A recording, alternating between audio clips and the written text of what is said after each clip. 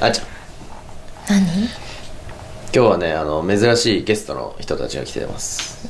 この人たちは別に珍しくないゲストですけど。まあそう。涼介斎藤。いやそっちなの？俺が入るここに。いやピンポン来て下歩いた時ウーバーイーツですかって聞いちゃったよ。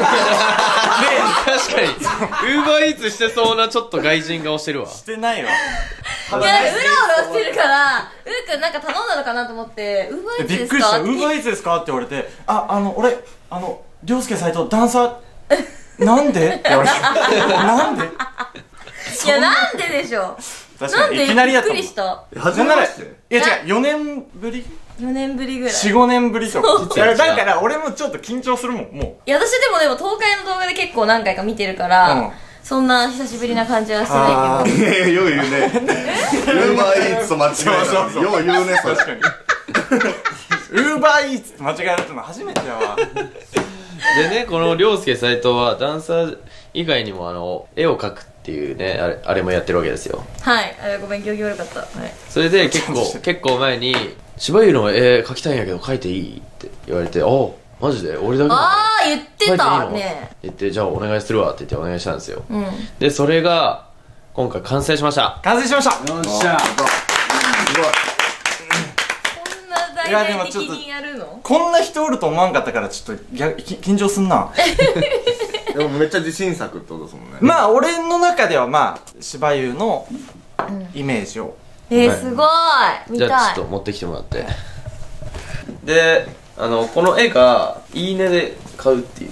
こっちのいいねね？うん。うんうん。だからこの絵をちょっと30万で買おうかなって。え高くない？いやいやいやいや。いや。高いだろ。でもこの絵を見たらあこれは30万の価値あるかもしれないねって。うわちょっと待った。思うかもしれないからまあ一旦30万どうですかっていう相談ね。今あーちゃんに。じゃあちょっと絵を見てもらいましょう。はい。うわーこれめっちゃ緊張すんな。それによってはだって値段が決まるわけだからね、え、ちょっとメガネかけるわ。あ大丈夫。大大丈夫。大丈夫。大丈夫。大大丈夫鑑定大丈夫。まだまだ出さないよ。ちゃんと評価してちゃんとね。あーやばい。めっちゃ手震えてきた。フェアに行こうよフェアに行こいやこれであのちょっと微妙なリアクションされると俺の今後の絵の活動がやりづらくなります。え、わかったわかった。気に入ってきそれは大丈夫。っていうのもさ加味してね。ういいリアクション。するいきます。はい。抽象画です。はい。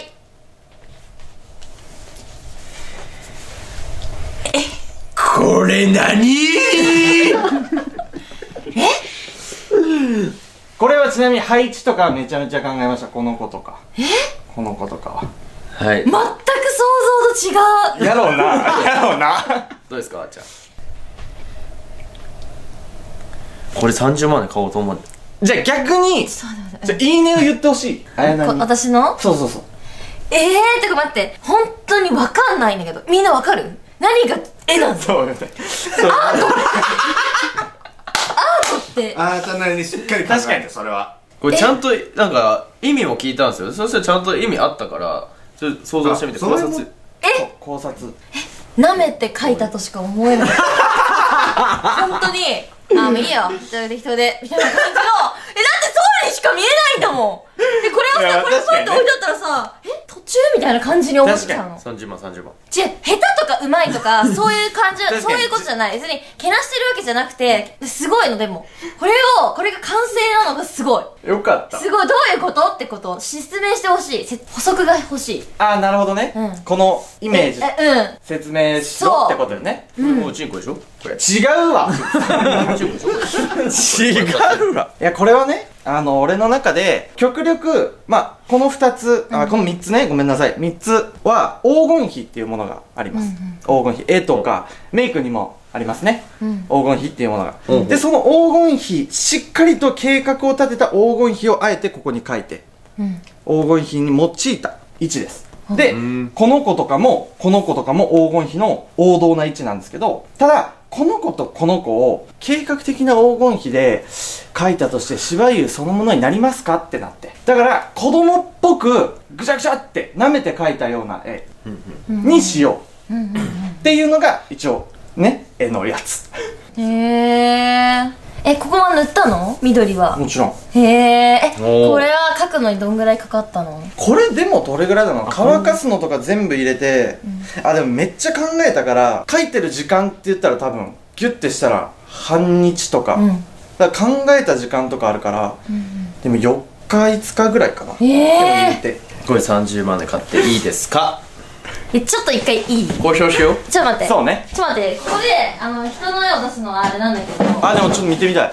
あのこれ釣り目くんが描いた絵なんですけど これ芝優16万で買ってるんですよ。それを聞くとこれを16万で買買うというそのは判断の基準私は間違ってると思ってて。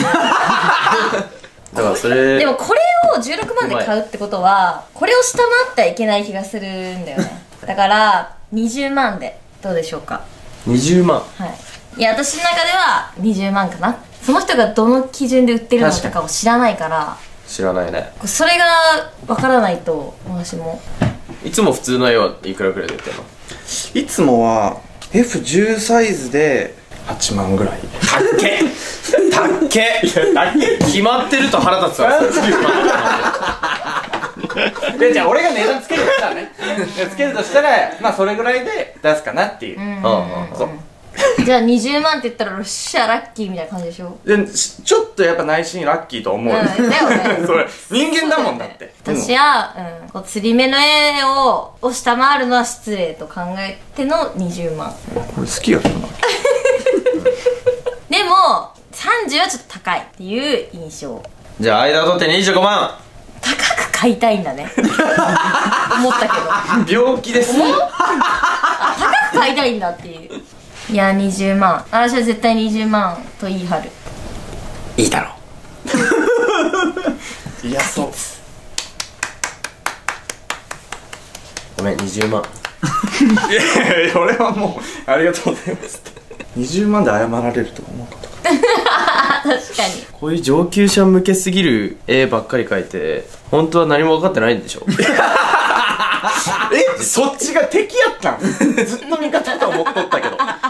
そっち側やったん？いやでもちゃんと僕を考えてね。そう。えすごい、でも。ということでありがとうございます。じゃあ返させていただきます。この辺に。ちょいちょいちょいちょいちょい20万で買うならそこに置かなきゃいいのね、そまあでも。じゃあありがとうございました。ありがとうございました。振り込みますんで。はい。うおめでとうございます。ありがとうございます。ありがとうございました。やっぱ決定的に喋りができない。あいつ。5年前ぐらい。シアトルからできない。できない